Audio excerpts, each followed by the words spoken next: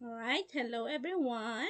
My name is April Sinerato Hachero from Bacolod, Negros Occidental. I help people who have difficulty in their math lesson. I give tutorial lesson how they solve it in easiest way and very effective. Even if they are totally don't know their math lesson or find it hard to say, trying solving it. So, for today, this are this is our lesson, quartile, decile, and percentile with group data.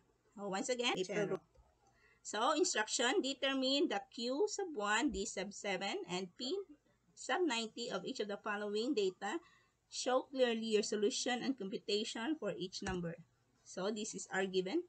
Class interval and the frequency. C, 70 to 75, frequency is 10, 76 to 81, the frequency is 15, class interval 82 to 87, frequency is 12, 88 to 93, the frequency is 9 and 94 to 99 the frequency. Alright, take note of our given. Next, this is our solution. So, see, we need to solve first the cumulative frequency. So, what, ano ang cumulative frequency? Paano natin to gawin? So, it, mamaya ito magiging answer natin, no? Q1, D sub 7 and P90. Ito magiging answer natin. Paano yan? Mamaya na yan. So, ano muna yung cumulative frequency, how to solve it, no? Una-una, gagawin mo lang yung frequency, di ba? Nap, nap, napapansin mo tong frequency, 10, 15, 12, 9, and 8, no? To, i-total mo lang yan, i-add mo lang to lahat. O, yan yung cumulative frequency. So, copy the 10. Okay? 10 plus 15 is 25. So, the cumulative frequency of 76 to 81 class interval is 25. Alright? Gets? Next, 25 plus 12 equals 37. So, yan na magiging cumulative frequency ng class interval muna 82 to 87. Okay? Next, 37 plus 9 is 46. So, and so on. No? 46 plus 8 is 54. So, lahat daw to, ang total number niya is 54. Alright? Tally? Gets? Now, we try to solve our quartiles, no? Group data to, ha?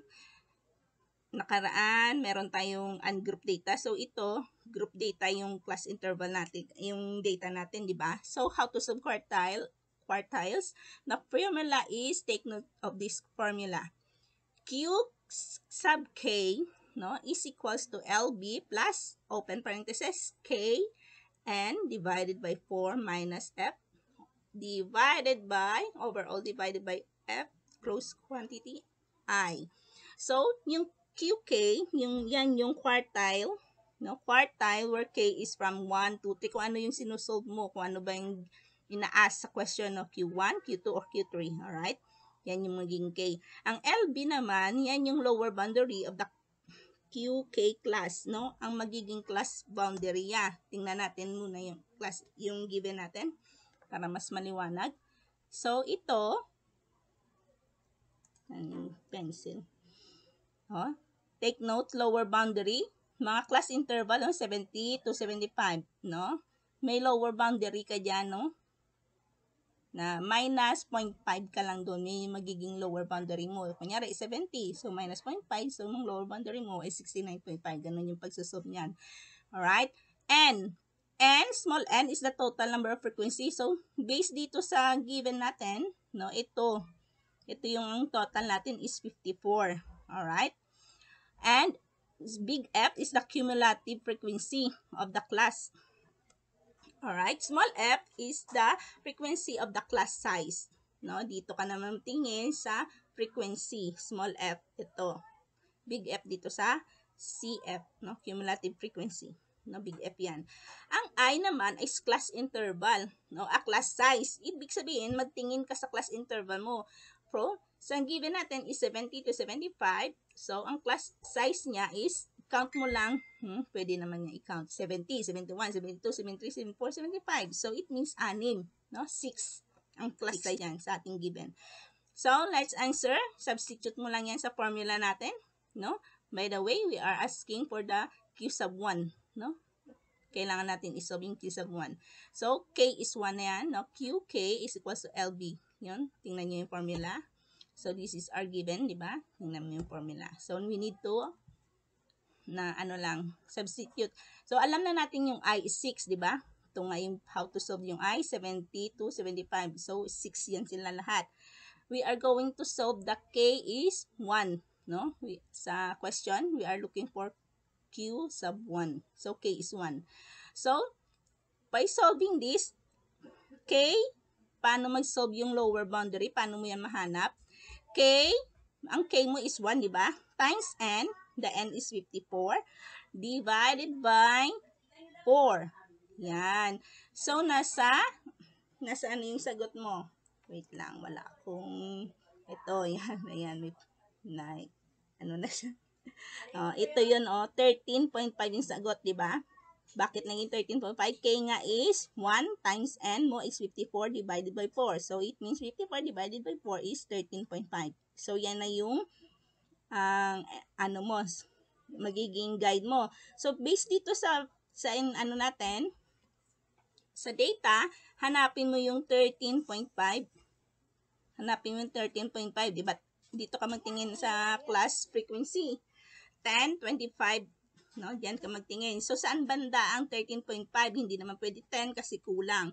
So, nasa 25 siya. So, ito na yun. So, ang class interval natin na Q1, yung sagot natin, yung sagot natin ay 76 to 81. Dapat yan yung sagot natin sa Q sub 1. No? Now, as you can see, yung constant, constant natin ngayon for ha, CF, no? Naalam mo na kung saan banda siya, di ba? 76 to 81. So, yan yung cumulative frequency. Diyan banda maging sagot mo. So, tingnan mo yung F, yung big F. Ibig sabihin, yung before ng 25 sa data mo is 10. So, yan yung big F mo. And small f, yung frequency na within your data, within your class size. So, 15, based dyan sa given natin. So, yan na yon no? I, K, L, B, N, constant. Alam mo na yan. Gets mo na? Nakuha mo na lahat. So, now, you need, all you need to do is substitute na lang sa formula, no? LB. So, paano nga ba kumuha ng lower boundary? So, alam mo naman na yung class size mo ay nasa 76 to 81. So, 76, paano? Minus 0.5 ka lang. So, nasa 75.5. Yan yung lower boundary mo na. No? Plus, no, ito na, yung formula na k sub n over 4. Diba? 13.5 na nga itong k n divided 4. Minus f. Yung f mo ay 10, diba? So, 13.5 minus 10 is 3.5. Kita mo yung 3.5, yan na yon. So, divided by, yung 3.5 na to, i-divide mo siya sa small letter f na 15. So, 3.5 divided by 15, yung answer is 0.22233. Diba? Now, next ang multiply mo yung sagot mo na 0.2333 times sa class in interval mo na ay class size mo na ay so 6, no? 0.233 times 6 is 1.4. Okay? So now, overall na to, no? Ang 1.4, i-add mo yan sa 75.5. So the answer is 76.9. So, yan na yung sagot natin sa Q sub 1, nasa 76.9. So, within the range of class interval 76 to 81. So, 25% of our data lie below 76.9. Alright, now let's solve for the decile. Decile formula, no? For the term decile is centi, no? 10. Ibig sabihin 10, no?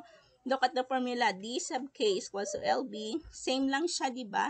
Same lang siya sa quartile, pero ang constant niya, naging 10 lang. Kaya nga, decile na nga, eh, de, dec, decimal. Parang ganun, deci, 10. No? Ang magiging constant lang, nag-iba dito, naging divide, divisor mo na, ang divide mo na lang siya sa 10. So, same lang, oh. Yung ating given data. No, D sub K, we are looking for D sub 7, kaya yung K mo is 7. And N is, ilan nga ba lahat to? No? Ilan lahat to, di ba? 54.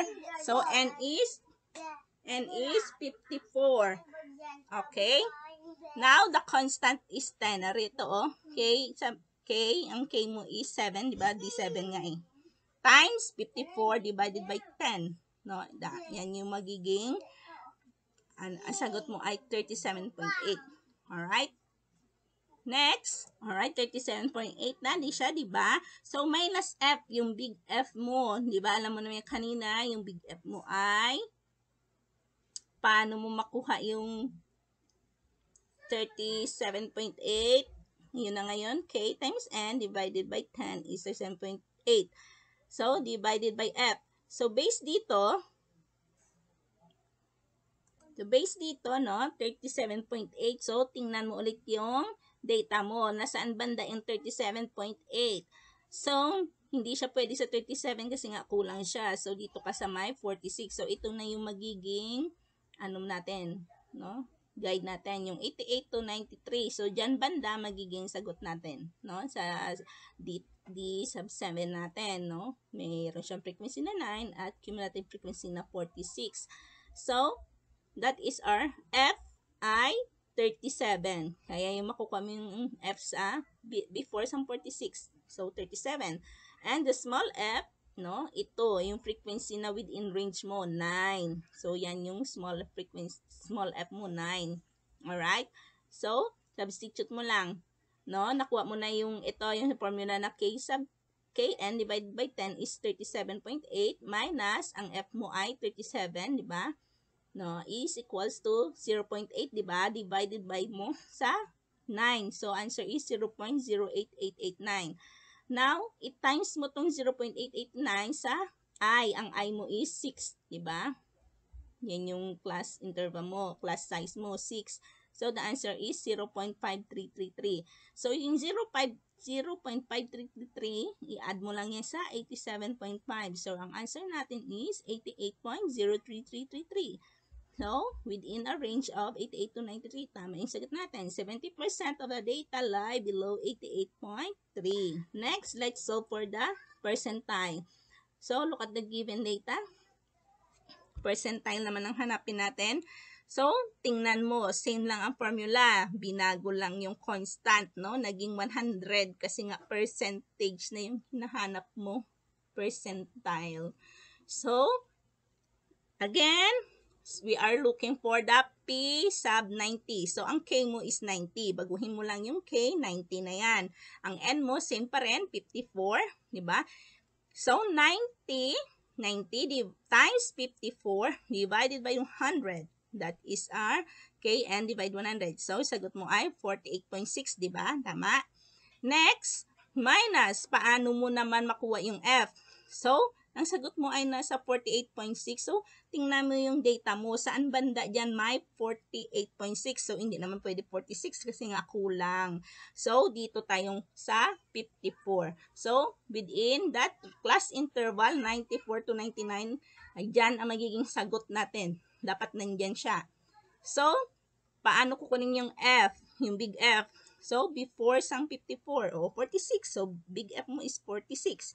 Ang small f naman, so within the class interval mo, ang frequency niya is 8. Diba? So, yan na yung magiging small f mo, 8. So, substitute mo lang again sa formula. K, N divided by 10 is 48.6 minus F na 37, 2.6 yung sagot mo, di ba? And divide mo na yung 2.6 sa 9, answer ay 0.325. Then, it times mo yung ang sagot na yan na 0.325 times mo sa class size na 6. So, 1.95. So, yung 1.95, i-add mo yan ngayon sa paano makuha yung lower boundary. So, nasa 94 to 99 ka nga, di ba? So, lower boundary mo ay 94 minus 0.5 is 93.5. So, 93.5 plus 1.95 is 95.45. So, that is our answer. Excuse me. Excuse me. So, 90% of our data lie below 95.45. Alright, thank you.